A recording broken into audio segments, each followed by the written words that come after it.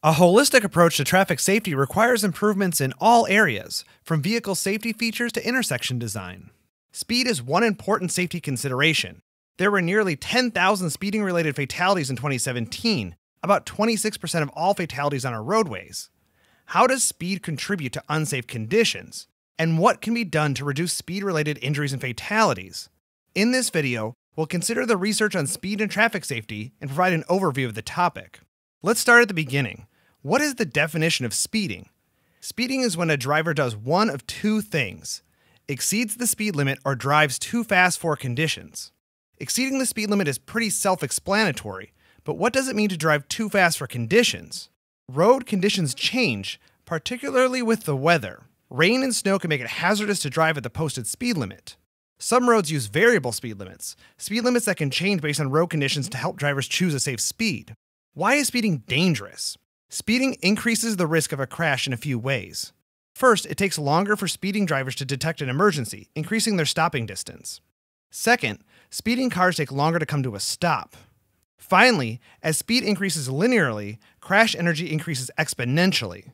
For example, when the impact speed increases from 40 to 60 miles per hour, a 50% increase, the energy increases by 125%. This increase in force makes collisions more severe. At very high speeds, car safety equipment like airbags and seatbelts are insufficient to protect passengers. The variance in vehicle speeds can also be dangerous. Roads where drivers move at very different speeds can be less safe than those where everyone is driving at about the same pace. This effect is secondary to the reasons I just listed, however. The physics of a heavy vehicle moving fast and transferring that energy into another vehicle during a crash is what makes speeding potentially catastrophic. Speed is particularly dangerous in urban areas because cars are mixed with people on foot, bikes, and scooters, each with different levels of kinetic energy. There are many places called conflict points where a car can strike someone. It doesn't take much speed to make a crash fatal. The fatality rate for pedestrians hit by a car at 20 miles per hour is 5%, but that jumps to 45% at 30 miles per hour and 85% at 45 miles per hour. It's clear that excessive speeds can be dangerous, Speed limits are one effective means of reducing vehicle speeds and improving roadway safety. One famous natural experiment occurred during the oil crisis of the 1970s. The federal government established a national maximum speed law of 55 miles per hour as a means of reducing fuel consumption. This also had the effect of making rural highways safer. In the first year, one study estimated that there were 3,000 to 5,000 fewer fatalities than expected. The federal government repealed the law in 1995, once again allowing states to set their own speed limits. As of 2016, 25 states have maximum speed limits of at least 70 miles per hour.